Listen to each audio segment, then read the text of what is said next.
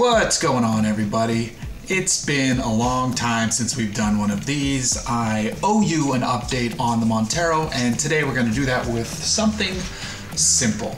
Before I go too deeply into this video, if you could go to blipshift.com slash Hooniverse and buy some t-shirts or stickers, that's always very helpful for us. If you don't want to, you don't have to. I'm not making you. I'm just saying, you know, if you want to do something, you know, why can't you help us out a little bit? You could just go spend some of your money and, and support a channel you like and I'm going to switch out my headlights. The standard headlights are okay. I was driving this the other night and I thought, you know what, I'd like to have a little bit better illumination as I go down the road. So I ordered a pair of these. These are just seven inch headlight replacements. It's easy when you have 7 inch rounds on a vehicle. Um, many vehicles have them, and these are H4 bulbs inside of there, so this should be brighter. I'm not testing this at night, but I can turn off the lights in this here garage and make it a bit darker, and we'll take a look and swap these, and very easy to do, and then we'll see if there's a difference here in the garage.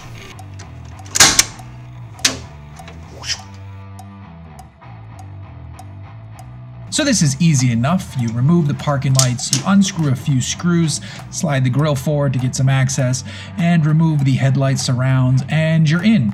The headlight metal trim is three screws, that comes out. Then the old headlight comes out, and the new headlight goes in. I'm using these rubber boots uh, that come with the KC headlights to just provide some extra protection for the back of the headlights where the plug area is. Installation is the reverse of removal. You put all the screws back in place, you bolt it all back up, and it's easy as that, and then it's time to just check this and see if there's a difference. It's hard to tell the difference in brightness inside the garage. I need to test this actually at night and do it properly. However, I will say that the KC headlight has a much sharper, clearer, more well-defined cutoff than the Sylvania lights that were in there prior. I'm really interested to see how that's going to be out on the road. Okay, I got a little sweaty on the second one because a bolt was or a screw was fighting me, which is super annoying. But I realized I could just take out the top one instead of unscrewing the whole ring. It's really light metal. Just pull it back, take the headlight out, put it back in, and stop wasting my time messing with that. So that was a good lesson, and I'm gonna have to change my shirt now. But the lights are in. It was other than that very simple, very easy, very affordable upgrade, and then I will be giving you a full running driving update on this vehicle very soon because there's been engine work.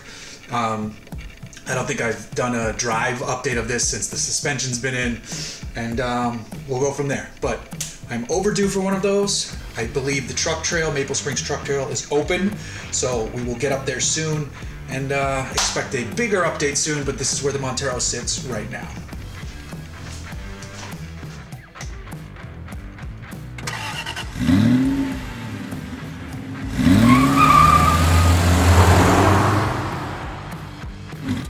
All right, here we go. New lights. Boom. Sharper cutoff. Looks good. And then just as a bonus, here's what my uh, uh, the off-road lights from Hardcore look like. Boom.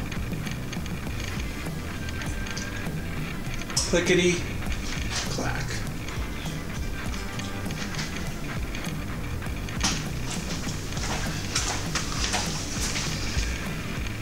Those are my Kyle Monster Energy lights.